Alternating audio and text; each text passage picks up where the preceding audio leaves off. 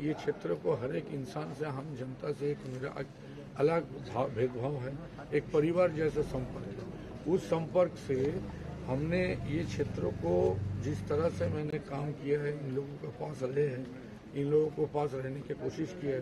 इन लोगों के साथ घर का मेरा एक रिलेशन तो वो रिलेशन में ही काम होगा। देख लीजिए क्या चुनाव का नतीजा। मतलब वायलेंस क्या कहोगे जैसे वायलेंस तो देखिए बंगाल का संस्कृति कृष्टि शिक्षा ये नहीं कहते कि वायलेंस को कोई भी सपोर्ट करे।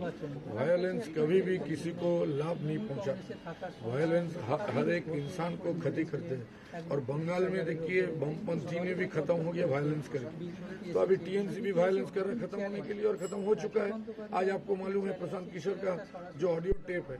मैंने ही पहले दिन कहा था, जिस दिन में उन्होंने ट्वीट किया था कि भारतीय जनता पार्टी तीन अंक नहीं पहुँचेंगे उसका नेक्स्ट डे मैंने ही कहा था कि मैंने एकदम चैलेंज करता हूँ कि तृणमूल कांग्रेस तीन अंक नहीं पहुँचेंगे आज भी आप देख लीजिए, तृणमूल कांग्रेस तीन अंक पहुँच नहीं पाएँगे। और जिस तरह से उनका ऑडियो टेप पास हुआ है, उसको साफ़ ज़ाहिर है।